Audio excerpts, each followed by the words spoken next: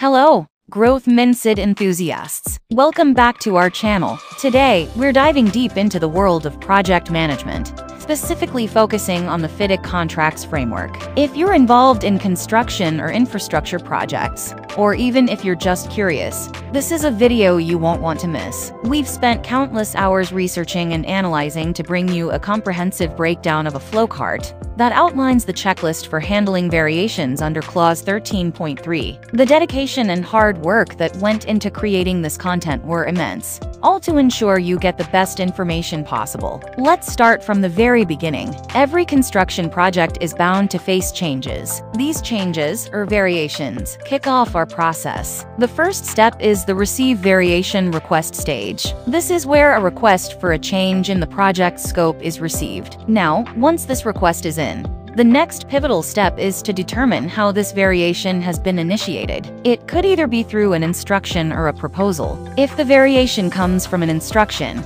we refer to subclause 13.1 of the FIDIC contract. But if it's initiated by a proposal from the contractor, then subclause 13.3 is our reference point. Based on the initiation method, the contractor either executes the variation as per the given instruction or submits a detailed proposal for the variation. This proposal outlines the changes, the reasons for the changes, and any potential impacts on the project's timeline, costs, or other factors. Once that's done, it's time to determine the value of this variation. This is where subclause 13.3 comes into play again guiding us on how to assess the costs, time implications, and other factors associated with the variation. But what if there's a disagreement? Well, any disputes are referred to the Dispute Adjudication Board, or DAB, under subclause 20.4. They review the issue and provide a decision, and with that, the variation process is complete. It's a structured approach that ensures variations are managed effectively and in line with the FIDIC contracts guidelines. Our team at Growth Mindset Company has put in countless hours to bring this content to life. We truly believe in empowering our community with knowledge,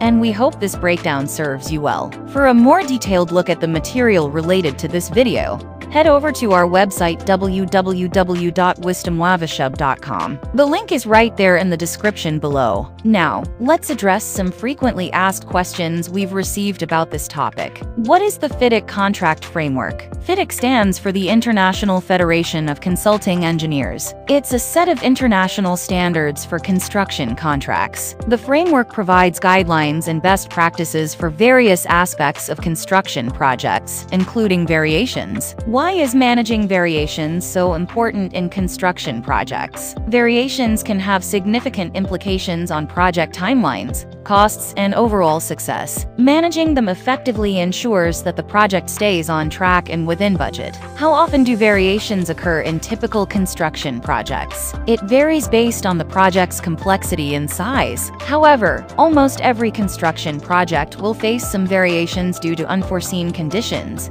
design changes, or other factors. What if the contractor and engineer can't agree on the valuation of a variation? In such cases, the matter is referred to the Dispute Adjudication Board, DAB, for resolution. How does the FIDIC contract framework ensure fairness in handling variations? The FIDIC framework is designed to be balanced, ensuring that both the contractor and the employer have clear guidelines to follow. This ensures that variations are handled transparently and fairly. Are there any real-world examples where the FIDIC framework was crucial in managing variations? Absolutely. Projects like the Crossrail in the UK, the Burj Khalifa in Dubai, and the Panama Canal expansion have all utilized the FIDIC framework to manage variations effectively. I hope that clears up some of your queries. Remember, by subscribing to our channel and enabling notifications, You'll be the first to know when we release new videos packed with valuable insights. And trust me, you don't want to miss out on the wealth.